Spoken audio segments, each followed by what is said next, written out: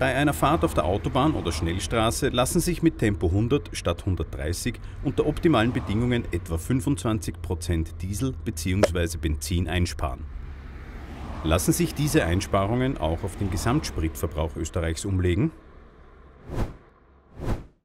Autos auf Autobahnen und Schnellstraßen machen 34% der österreichweiten Verkehrsleistung aus.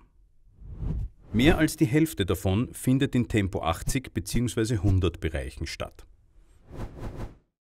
Auf den übrigen Autobahnstrecken werden im Durchschnitt deutlich weniger als 130 km/h gefahren, etwa 120 km/h auf dreispurigen und 105 km/h auf zweispurigen Abschnitten. Schreibt man durchgängig Tempo 100 vor, lassen sich dadurch 1 bis 3 Prozent des österreichischen Spritverbrauchs einsparen. Das sagt auch der Sachstandsbericht Mobilität des Umweltbundesamtes. Ist ein Ende von Tempo 130 die Lösung für einen möglichen Energieengpass? Wohl kaum. Dafür ist der Hebel zu klein. Und massive Überwachung erzeugt auch Widerstand. Daher überzeugen statt strafen. Je mehr mitmachen, desto mehr bringt's.